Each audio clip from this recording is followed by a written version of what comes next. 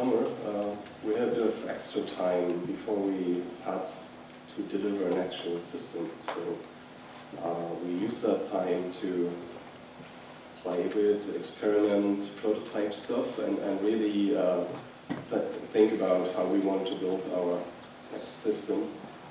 Uh, we definitely had a great time doing that, and uh, I hope we can get a bit of this across in this talk. So, but speaking of Wooga, I guess not everybody knows us yet.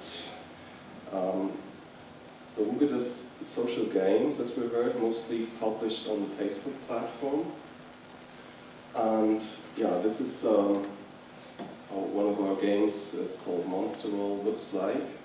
As you can see, it's all cute and colorful, um, which might be the reason uh, why a lot of women actually are playing the Wooga games as well. Actually, the majority of players are women, like 70% or something.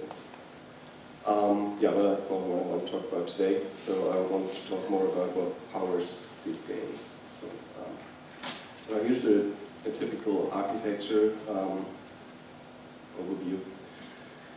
So uh, the, the game itself is usually uh, implemented as a separate application. Um, when it's published on Facebook, it will usually, usually be a Flash application, um, but it might also be a native iOS app or anything else, really. And it talks uh, through HTTP API through uh, to some backend in a data center. So this the backend part is, is what I'm going to focus on today.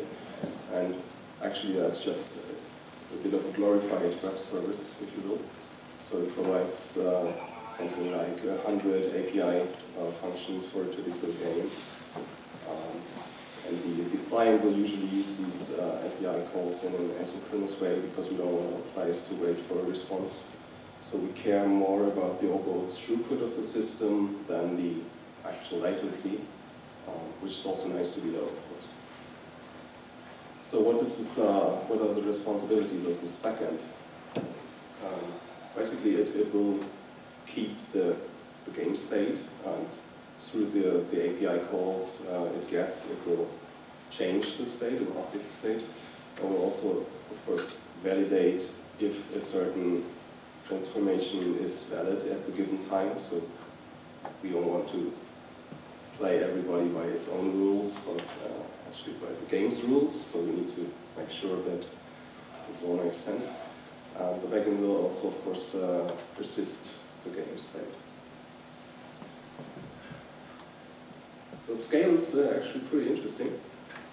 Um, so um, yeah, that's just a high number for this Monster World uh, game. Uh, we're getting about 14 billion of these API requests uh, per don't know if everybody has a feeling if that's totally much or not, but um, there's one uh, website that kindly uh, publishes its, uh, its backend calls, and that's called Wikipedia.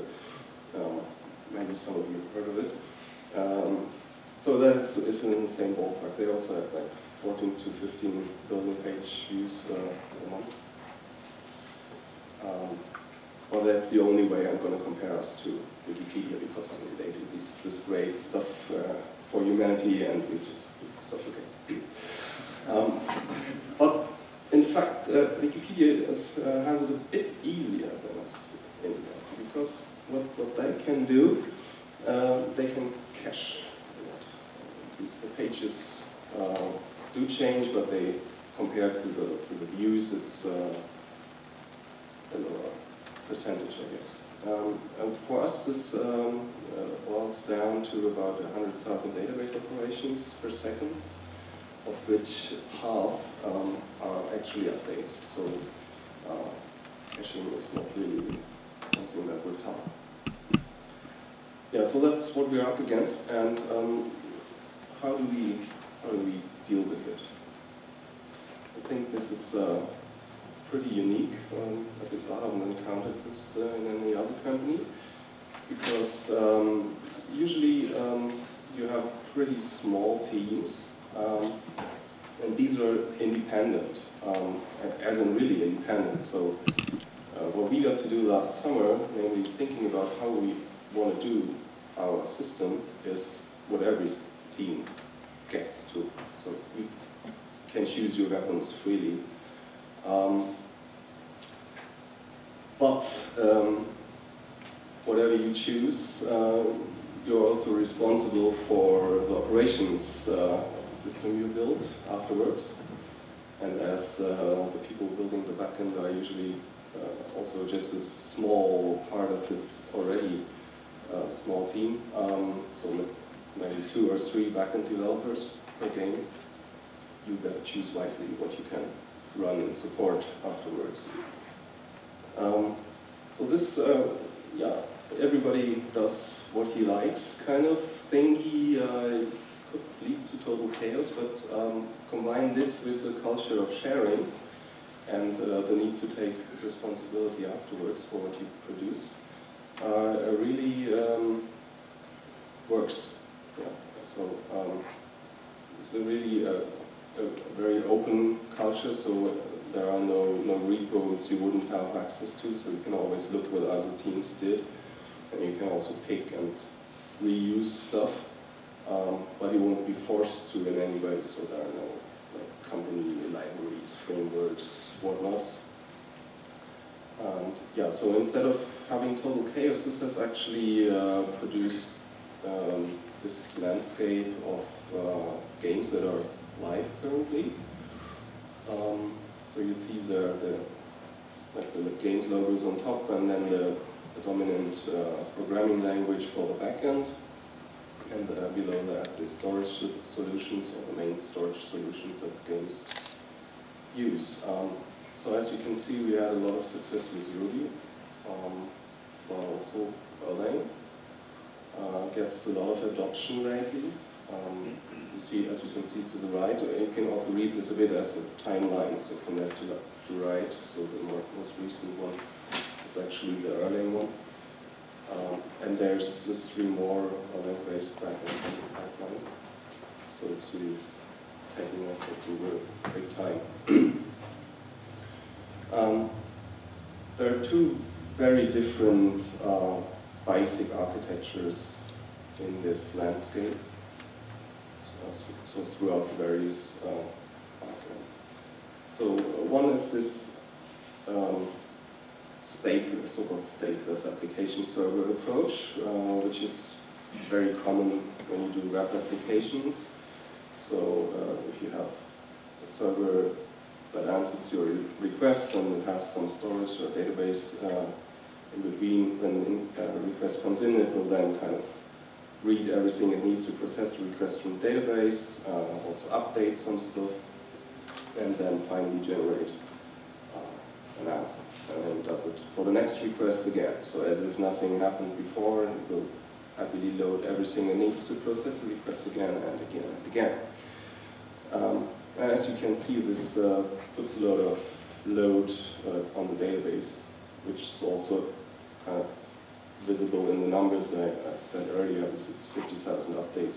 So the database uh, can quickly become a bottleneck. So. And yeah, when the database becomes a bottleneck, then of course you do sharding, right? You just have to have the load balancer on top, a couple of app servers behind that, and then the shared database. When one is not enough, you just use a second one. And when that's not enough, uh, a couple more. Uh, should you have trouble with sharding, then you're just not using enough of it. Um, and as, as a colleague of mine uh, uh recently put it, uh, these, these stateless application servers basically guarantee one thing, and that is the data is never very needed. But there is hope. I mean, if you really look into the, um, into the pattern that is interaction with the user, uh, what it looks like, then you will see those has a strong session pattern. So if you imagine a user starts playing at a given time, then it will play for a while. Usually we will do many transformations of the, same, of the same set of the data, namely the game state, uh, about 100 interactions usually per, per session when the user plays, and then he will just stop and maybe hopefully come back later, like next day or in eight hours or something. So this is um, something um, you could uh, also approach like this. So um, imagine you have this server with an incoming request, and we just load the whole game state when it kind of spawns up. And then it just keeps running, and just keeps the whole game state in memory, and it will happily answer all the interactions, all the requests that the user generates, which um, comprises this one game session of the user. And once he's done with that, then you just dump it all back to this.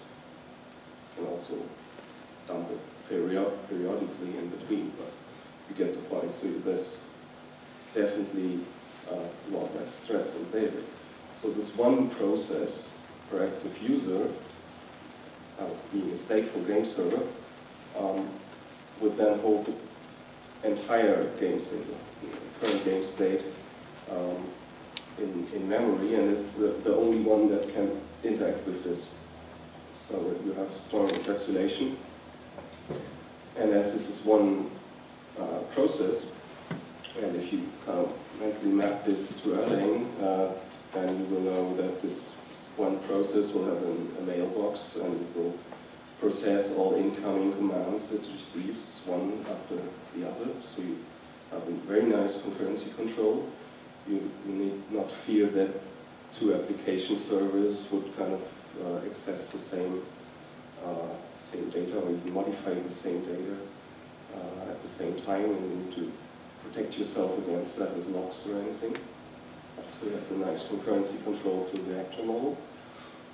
And as I said, it, it, it loads the game state basically once and writes back just periodically or when timeout occurs. Uh, so the user hasn't interacted for a while and can just dump it back to this.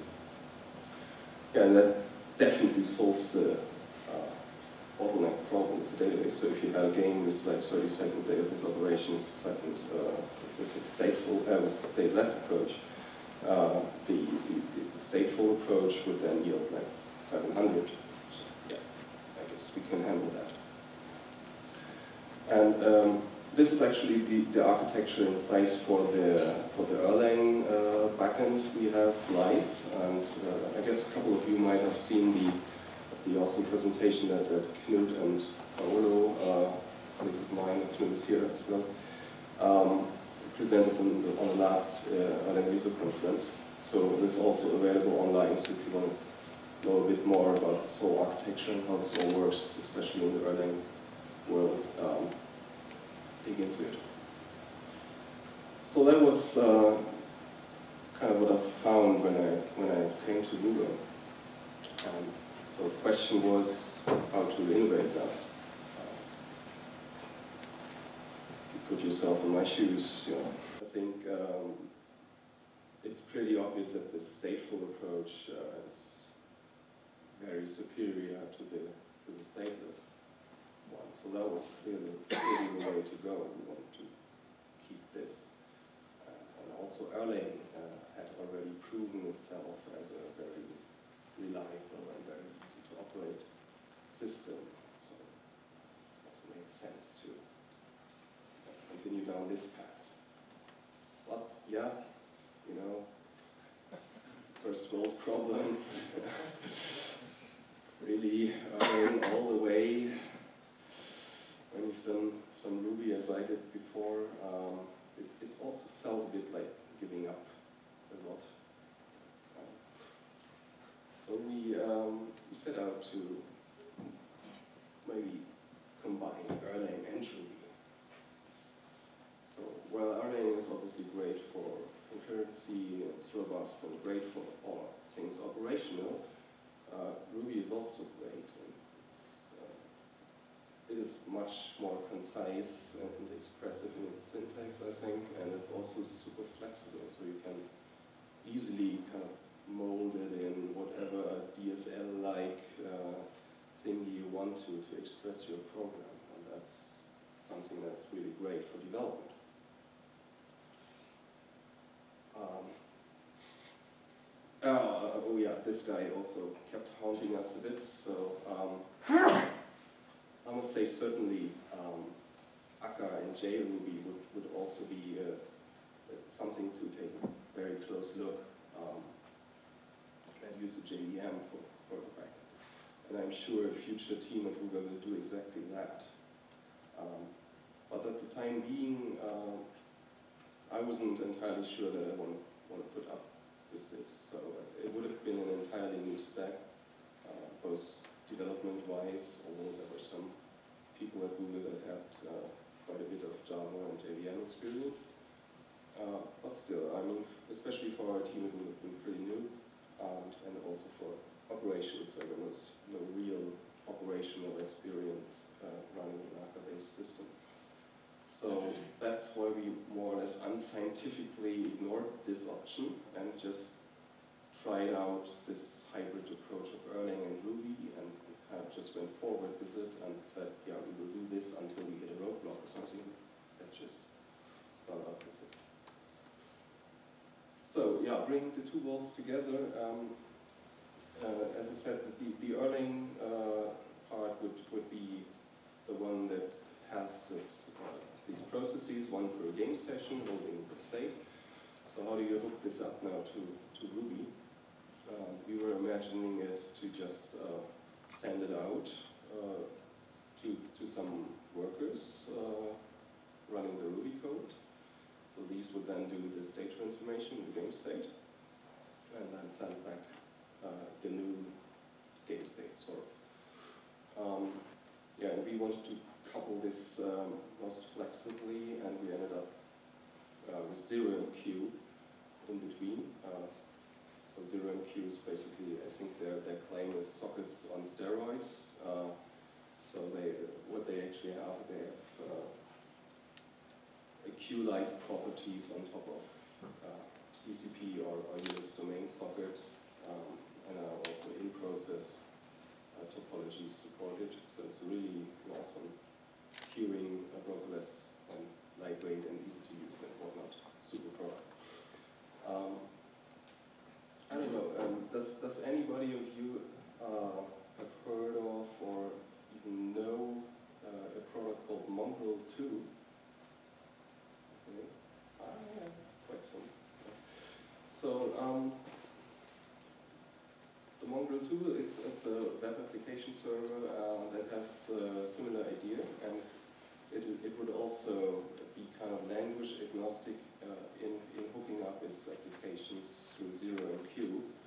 Um, so as this was already thought through quite well, we just uh, adapted this, the exact same queuing layout and also the message format uh, that Mongrel 2 uses, uh, which yeah, was just kind of a no-brainer to reuse this. Uh, so. Oh yeah, uh, thanks for your insight, Clarence. Um, indeed, indeed, it is, uh, in a way, it is stateless upside down, as the, the Ruby workers are still stateless, right? But instead of having a shared database uh, between, uh, behind them, um, they would get everything they need to know right with the request. So kind of, you of have a taken sharding to the max as now every single user kind of has its own shard. So that kind of eliminates the bottleneck, um, but it also introduces a new bottleneck. So the amount of data you have to pass into the to the worker to be for it to be able to to do its transformation is something you have to keep an eye on definitely. So that kind of thing, how much data flows back and forth.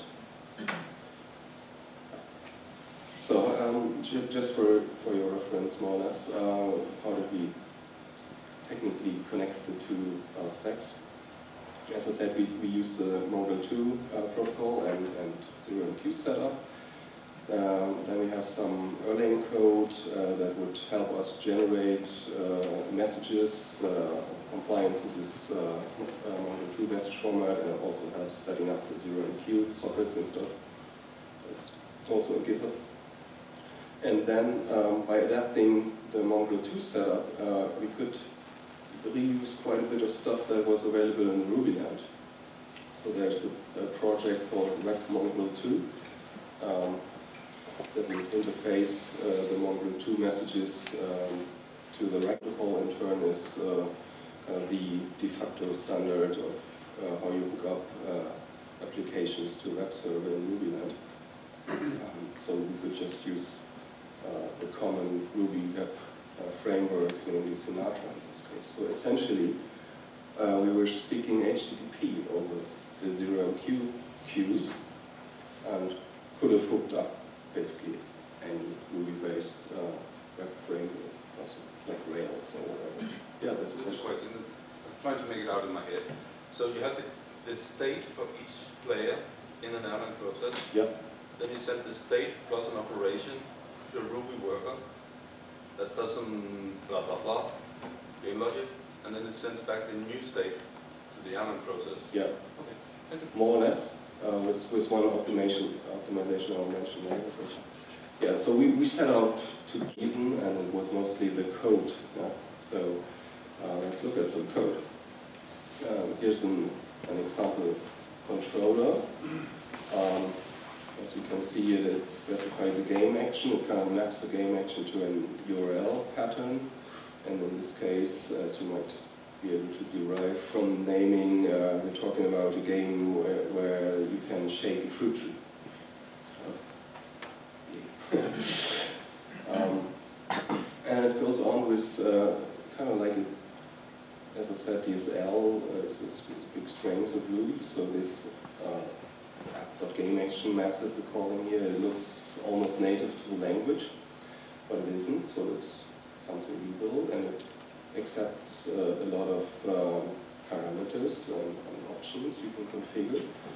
Um, and this also uh, gives a pretty nice documentation. Uh, we actually do generate documentation from this. Um, yeah, and it's um, the, the code it's basically just just parameter parsing and, and then calls off to some model. So it's uh, yeah, skinny as controllers should be, as a, a, a Rails uh, motto. And it can't get much much less code. And, and the model in turn also uh, benefits uh, from, from Ruby in a way. So uh, you can have things like inheritance. So our little fruit tree uh, can happily inherit from a tree object or a tree class. And uh, it can, on top of the properties that the tree might already have, uh, uh, also define new properties. These are also in a declarative way. It, it, again, it looks almost native to the language, but it's just us hooking up these properties uh, to the kind of the message that will get, sent- get sent back. So uh, defining what the what the state of this tree looks like. And the, the action itself is also, uh, yeah, I mean, everybody could understand what is going on here. Just increment a counter here, decrement a counter there, set some attributes, um, yeah, that's basically it. So this is like really easy, uh, easily testable in a way. And I think it's more or less a minimal amount of code you could write to do this. Um, to address a bit the, the thing with the, how much data do you send back and forth, um, let me say the, the game state is um, split in multiple parts. So uh, not, not every action uh, needs, needs all the game state. So it might be that one part is the user, or want to see the, the map, uh, the world, kind of the, the that are on this map, like fruit trees. So while Erlang does not really care about the content uh, of these actual of these parts, which are to Erlang just some binary, and in, reality they are uh, serialized Ruby objects. Um, Erlang does need to know what action needs which parts. So it has to send in the right parts to, to uh, enable Ruby to process the action. Um, but that's also actually pretty easy. So if you look back to this uh, controller code, there you, right, you have it, right? It's right there. So the action itself says which parts it needs to do its work. And so this, this Ruby worker knows the mapping for every action. And it can just push this information and start a uh, over to the Erlang uh, core. But the effects, uh, you need to know that the proof create shake operation actually affects the user. Yeah. Because you can't see that from this code. That's true. That's true. That's indeed something we were struggling a bit uh, on how to kind of do the encapsulation right there. Um, there were also alternative approaches like passing the user around um, instead of implicitly referencing it through the session object. Yeah, we'll get a bit to that later. And it, what's also possible, of course, is just to provide another action that would allow Erlang to query this mapping at any given time. So imagine uh, that you would have uh, a restart in the, in the Erlang server, then it would basically not know the, the mapping. Just has to query. Yeah, all pretty, pretty sweet. And yeah, it was really nice to look. Um, we had pretty beautiful code. Um, also deployment-wise, it's really a nice thing to just kind of deploy the new business logic without having to think about touching the, the, uh, the session container, basically the storage. And it, it was also uh, nice to scale, so you could just have more, um, uh, more of the workers, basically, on one box, or Zero MQ would also uh, give you the option to have the workers on a separate machine if you would like to do that. But you could also just scale the whole thing, like Erlang plus Ruby with a couple of workers on multiple nodes, so it's just not a problem. Uh, yeah, the performance was also uh, good, I would say. Uh, actually, there, there would be a penalty, um, of course, uh, but as I said, it was uh, easy enough to, to scale, so you could just kind of uh, put more hardware, basically, and it running. Unless you have another problem, yeah. So, um, so while we were while we were exploring these these new backend concepts, um, also the, the game itself took shape more and more. Uh, and it, would, it, it kind of became apparent that this, this particular game that we were kind of tasked to, to support uh, would, would rather gravitate to, to large chunks of game states that you would need for each action. Um, and it would be rather hard to conceptualize against that. So we looked at the performance impact more closely uh, for, especially for larger payloads, like uh, payload um, that you would have to pass in and back. We compared what, what, would, what it would look like if you did a pure Erlang uh, implementation for the game logic versus a Ruby one. And um, so we, we kind of measure the system, how much requests per, se- uh, per second it could support, and we also uh, did a couple of test series with uh, different numbers of workers. So this whole thing was run on an 8-core machine, so we varied the amount of workers uh, we had running between uh, 1 and 8. And that's what it looked like for Erlang. So we could, uh, even with this larger payload, we could easily support something like 4 or even more thousand uh, requests per second.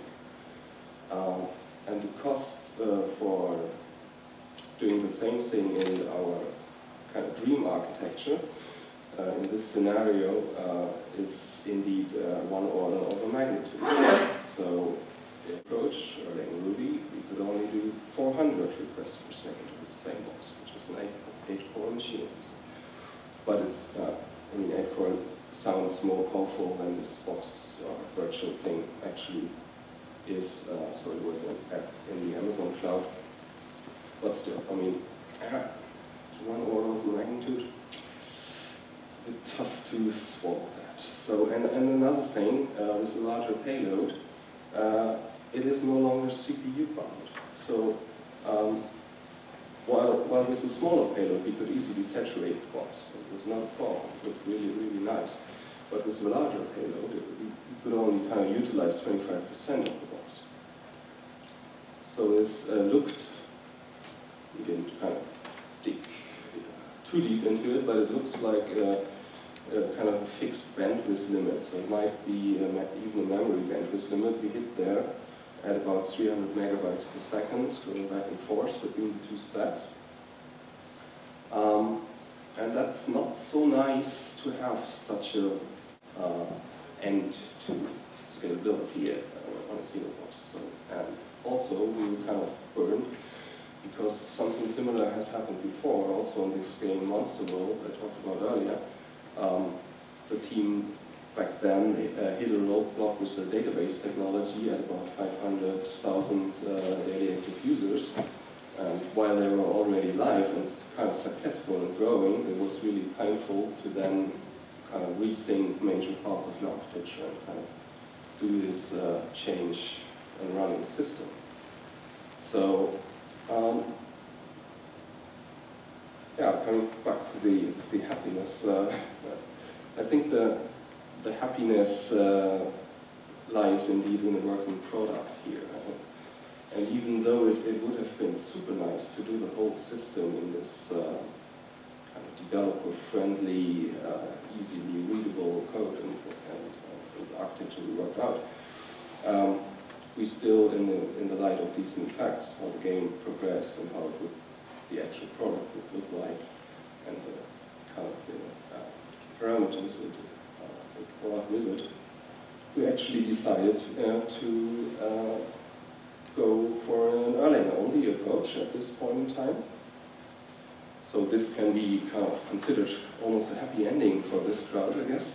so, um, but still, yeah, not an easy decision. Right? So um, again, okay. yeah. At this stage, did you consider using a port to Ruby process instead?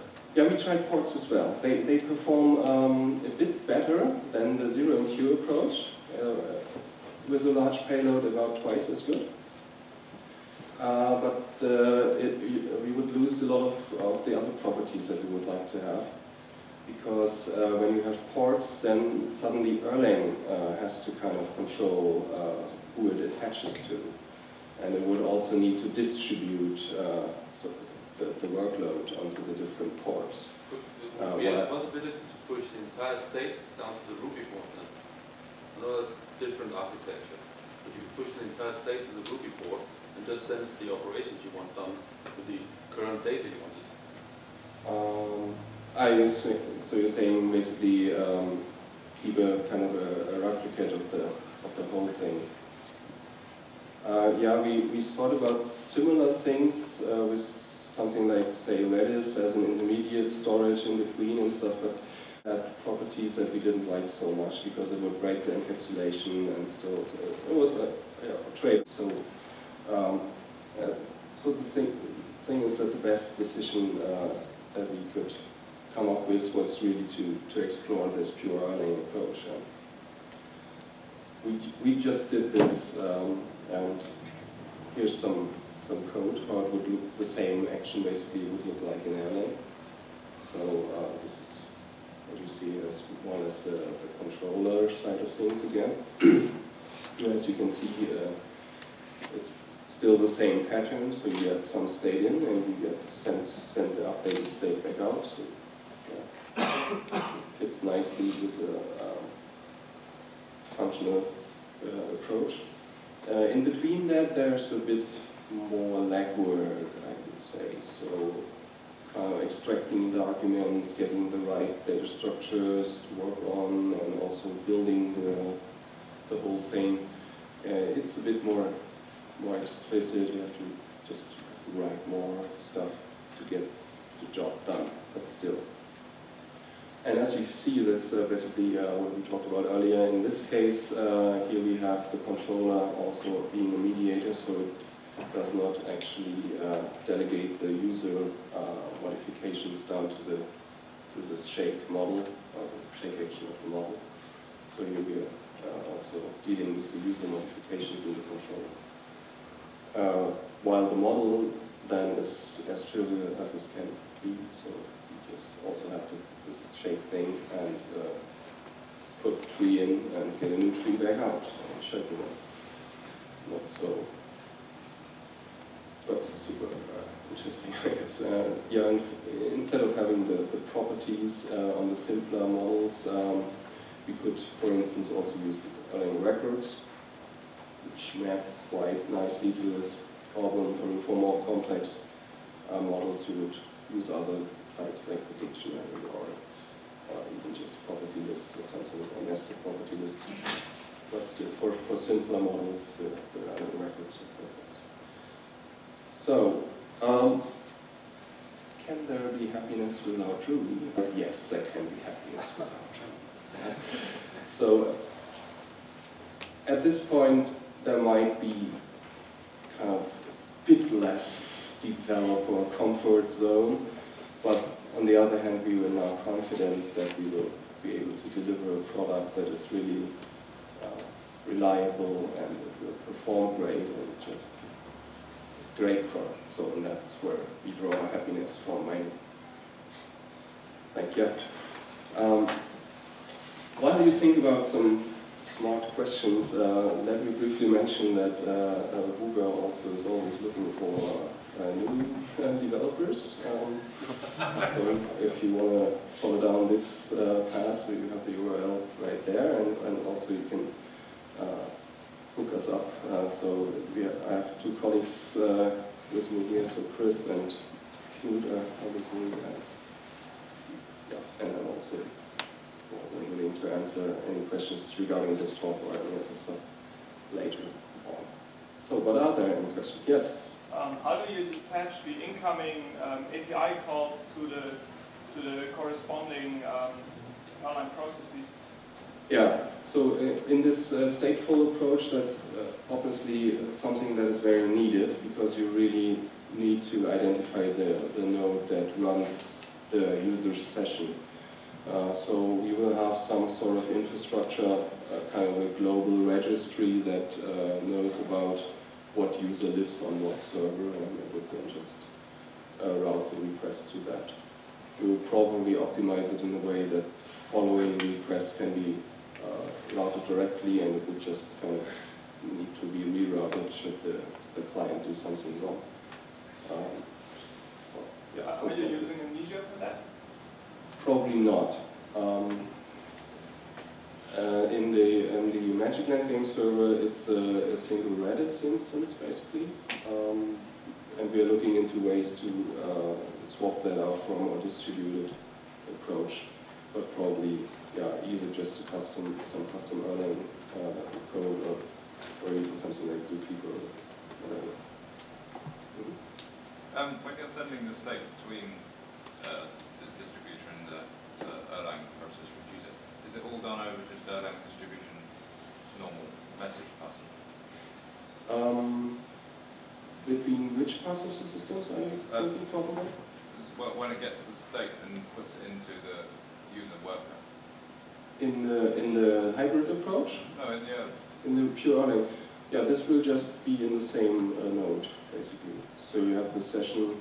But does it, uh, does it pull in the, the session state from the database before it creates yeah. a worker, or in the worker? Uh, there are no workers in this sense. It's just basically That's just code, process, code operating on the data structures. And, and when you spawn up a new user session and we start playing, then we will initially load the whole game stuff. Uh, you, you, mentioned the user state is stored in the uh, Erlang process. Yeah. And do you consider replicating this state away, for example, to Mnesia for high availability? No, not really. Um, while we could do this, uh, we were also thinking about maybe using something like Riak Core and to have like multiple replicas and stuff.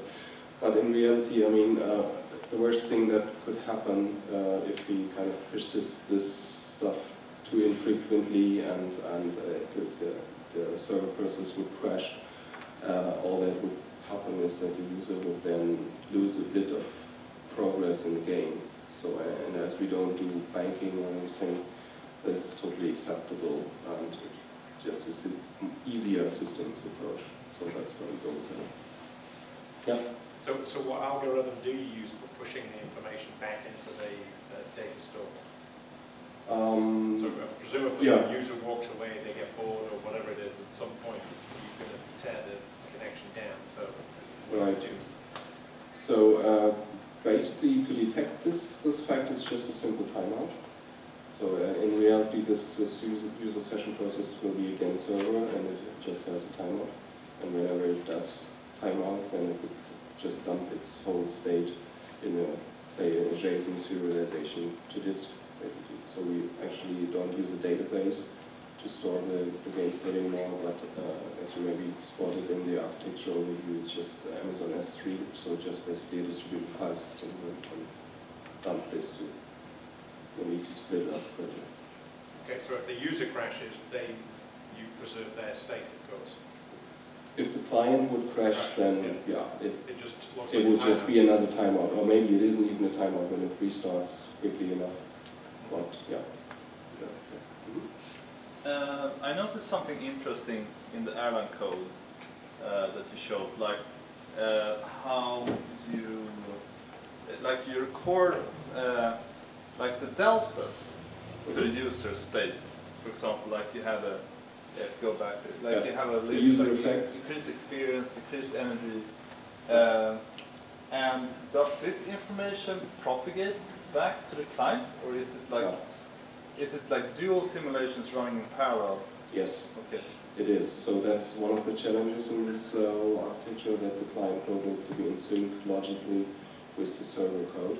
Yeah. But you need to do that because you, the, the client will not wait uh, for, for an answer from the server. It will just assume that it is okay Yeah. and continue playing so the user can, it doesn't need to stop interacting and stuff. So just needs to apply the same effects at client side as well. Because, but have you like uh, managed to leverage this in some way? Because I find it a little bit interesting that now you have kind of separated, you know, uh, the state change and the state are two separate things now. So, I mean, those are kind of events which could be used to trigger other stuff. Uh, are you using or doing something like that at the moment, or?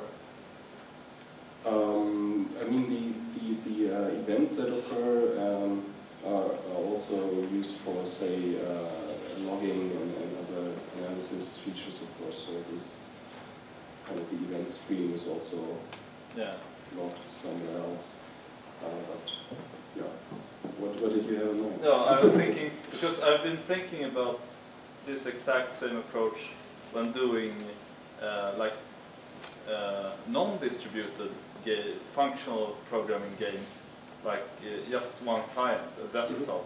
Because, uh, I mean, given infinite bandwidth and uh, like uh, uh, zero latency, I mean, you could just put all the game logic on the server, and then the client could Yeah. get these messages and like, oh, I increased my experience, like make the uh, experience bar go up, or like True. increase the energy, and then then you could have it like be a true model view controller setup where the client is actually just a very thin client with the view and Yeah. every, all the interesting stuff happens to on the server. Yeah. But Yeah, in a, in a perfect world where, Yeah. where the internet bandwidth is kind of infinite and, and everyone, even playing casually, uh, yeah. has this nice infrastructure at home. and there's world peace and you know Yeah. then we could save a lot of work. True. But, but on Yeah. that point, I, I think you have enough internet bandwidth at the moment to send all these messages back and forth. Yeah, I but mean, yeah, If but people still- are not watching YouTube at the same time, then you're fine. You're already done. yeah, that's true in a way. But uh, but still, if you have a, a game where you have a, a nice inter interface uh, and just continue click click click click click, um, then it is still a noticeable delay when you just wait for the response of the Right, so server. delay is your problem, is- but bandwidth is not the issue. Yeah. Okay. Given that. Have you That's tried, Go ahead. Go ahead. Yeah, maybe last question. That's have good. you tried to use WebSockets for your application? Because it would be possible to reduce on the payload and get some back and forth Yeah. client. Yeah, we actually have experimented with, with WebSockets, but they are kind of awful. Uh, they, um, they just work in a very narrow uh, kind of environment, and you need all sorts of fallbacks for when you're kind of out of this narrow thing. So they introduce more problems than they solve for us. But uh, we are actually using uh, server-sent events. So that's basically just chunk transfer for the, for the communication back. But we, still have requests, uh, with requests for the, uh, for A2B. We're running out of time, so if you have other questions, please ask Martin after the talk. Thank you, Martin. And well done.